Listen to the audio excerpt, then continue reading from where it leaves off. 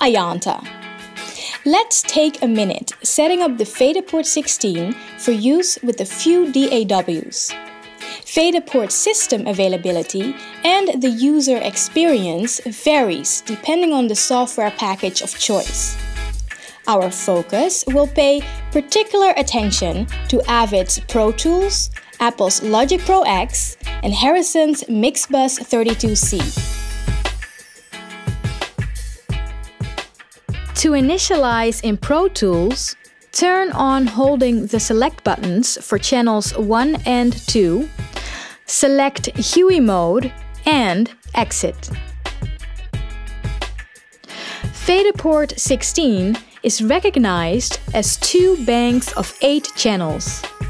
For the first bank, choose port 1 for both send and receive, then port 2 for the second bank.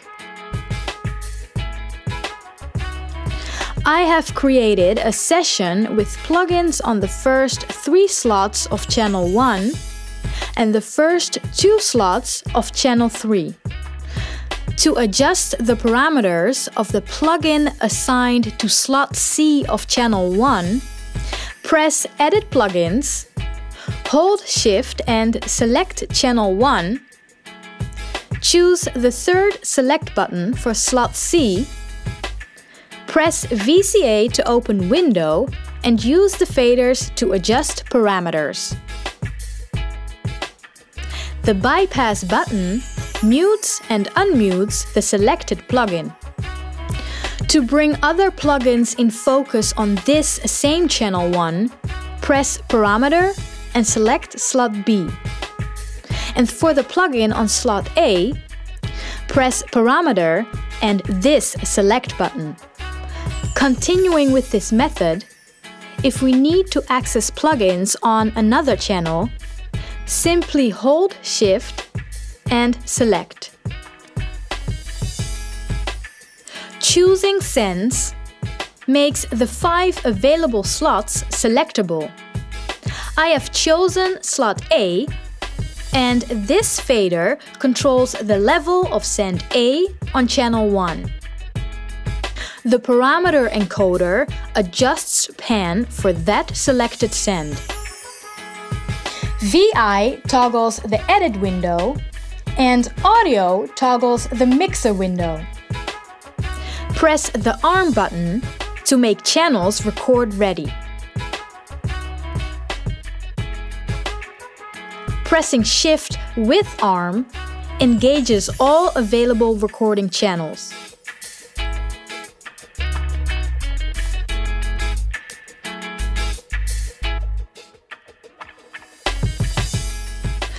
Power up holding select for channels 1 and 2 and choose Logic. The first time FaderPort 16 is introduced, it automatically populates on the Control Surface Setup window as a Mackie control unit with extender. In this Logic session, I have created 8 auxiliary sends on all audio channels.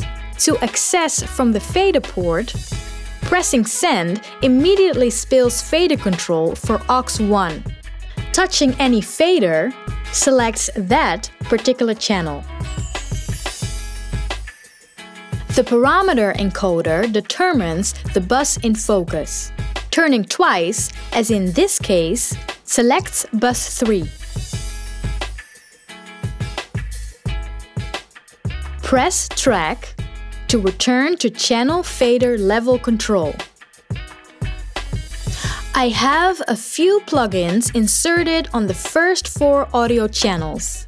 A Neve 1073 preamp is on slot 2 of channel 1. To access the 1073, choose Edit Plugins. Then press Channel Select 1.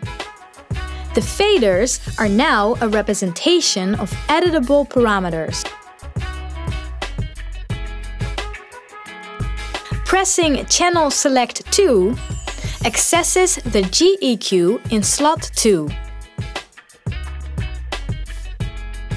Pushing the pan button moves pan control to faders.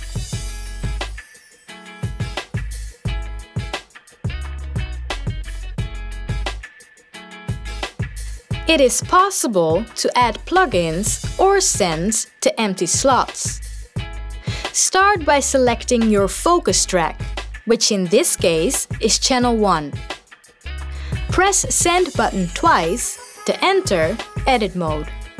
The select buttons 1 to 4 represents slot 1, 5 to 8 slot 2, 9 to 12 slot 3 and 13 to 16 slot 4. Choose the desired bus number with fader 1. Press select to accept. Bus 27 is now assigned to slot 1 of channel 1. The second fader controls send level. The third fader assigns the bus as post pan, post fader, or pre fader. And the fourth fader turns the bus off or on. Repeating the process, this time we will assign slot 2 to bus 22. Bus level, pre-fader or post, muted or active. The same can be done for slots 3 and 4.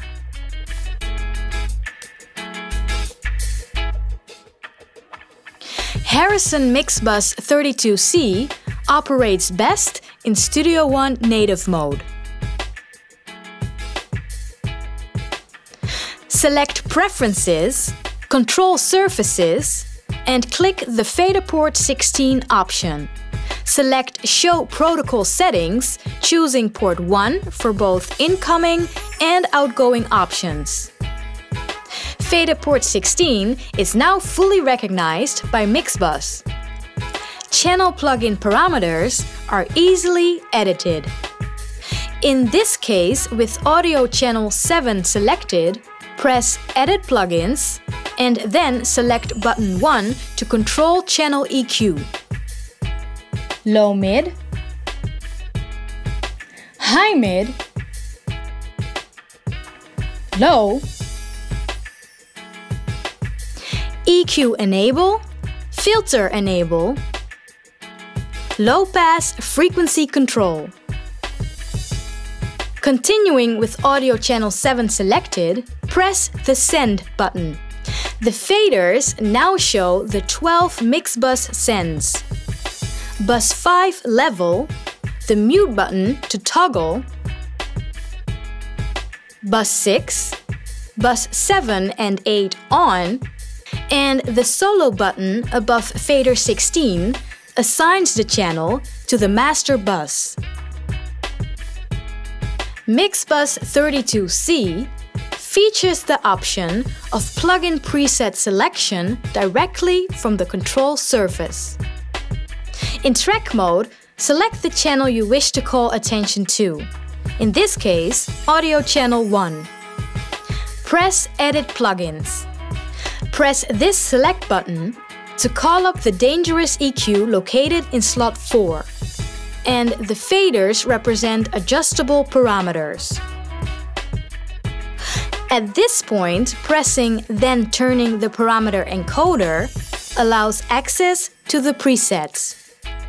Press select to choose your desired preset.